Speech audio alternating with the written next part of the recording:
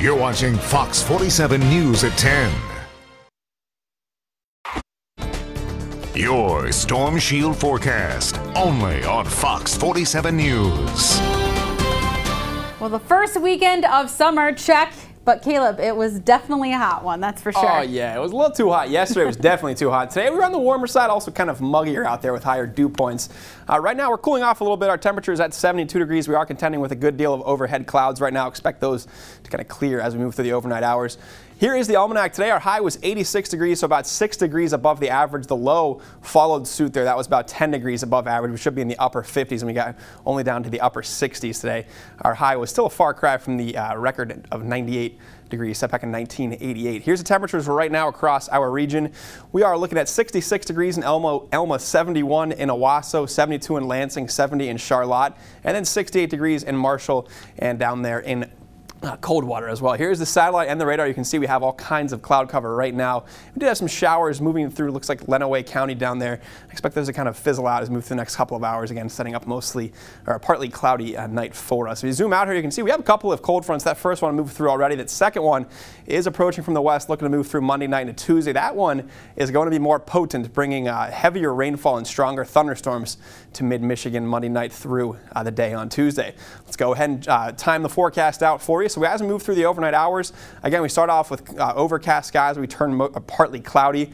One thing to note is where we did have that rainfall today, we have high, a lot of moisture lingering at the surface, so I think we see patchy fog develop, especially in our southern counties, again, where that rain fell. Tomorrow morning, we start off with a mix of sun and clouds. My wife and I are celebrating our one-year anniversary. We'll be up at Higgins Lake. I think tomorrow is a pretty nice day at least moving through the day, we have a mix of sun and clouds. It's not until the late afternoon where we do see some showers and storms start to pop up. But again, the better chance for those showers and storms comes Monday night into Tuesday morning as that cold front approaches. And some of these storms could be on the stronger side. So certainly keep your eye to the sky and pay attention to our forecast tomorrow as well. And then those showers and storms do linger through the day on Tuesday. So I think Tuesday looks like more of a washout. But we do kind of need that rainfall. So uh, we'll get we'll certainly get our fair share of it. Let's go ahead and show you how the temperatures are looking like they're going to unfold as we move through the overnight hours. We'll cool off a little bit. We'll see lows fall into the 60s. So a cool start to the day tomorrow. We'll warm up though into the mid 80s. So another warm one for us. For perspective, we should be at 80 degrees for a seasonable this time of the year and we'll be once again in the mid 80s so well above seasonal it's going to be uh, humid as well look at these dew points how they will unfold we'll see those climb through the day through the 60s when you have those dew points in the 60s that indicates a pretty oppressive air mass as it gets closer to 70 which is what we'll be contending with through the day tomorrow here is the temperature trend so we'll get to 86 degrees tomorrow, but behind that cold front, as I said, it's a pretty potent one. So behind that, we'll see those temperatures fall off into the 70s.